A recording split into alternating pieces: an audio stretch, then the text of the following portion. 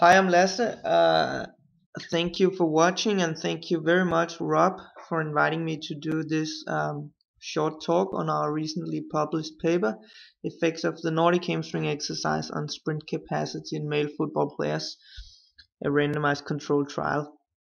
So if any of you want the full text, uh, just feel free to drop me an email or get in touch at uh, Twitter or ResearchGate. So, um, the Nordic hamstring exercise intervention has previously been shown to reduce the risk of sustaining a hamstring strain injury. However, studies investigating the effect on, of the exercise on important performance measures such as sprint performance are lacking. So the purpose of our study was to uh, determine the efficacy of, uh, of a 10-week evidence-based injury prevention uh, Nordic hamstring training intervention on sprint performance in male football players. We conducted a single assessor blinded randomized controlled trial with uh, with two groups, uh, an intervention group uh, performing the Nordic hamstring intervention for 10 weeks and a control group um, as shown here.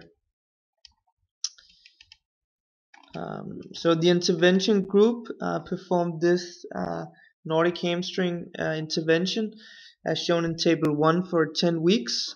and this uh, intervention here has been shown to reduce the risk of sustaining a hamstring strain injury uh, in football players.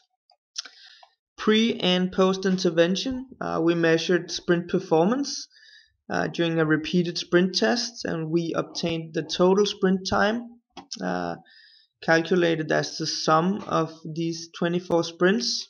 And we also uh, extracted the fastest 10 meter sprint and sprint time of the last 10 meter sprint. And uh, we also measured peak eccentric hamstring strength using the NordBord device.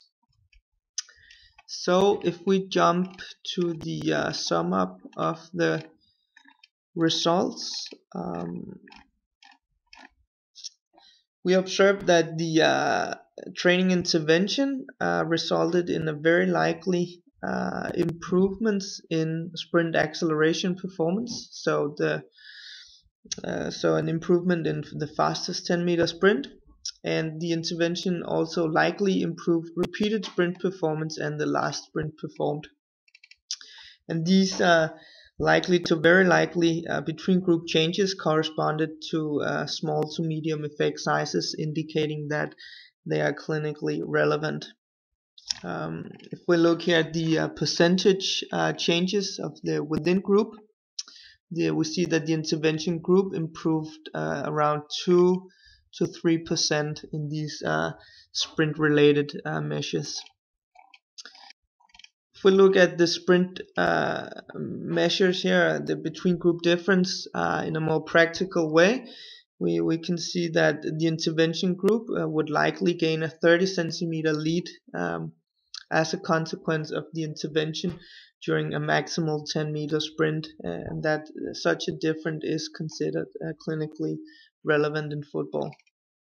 If we look at uh, peak eccentric hamstring strength, we see that the uh, intervention group improves around 20% and we see uh, that the control group um, uh, that no changes uh, occur in, in, in, these players.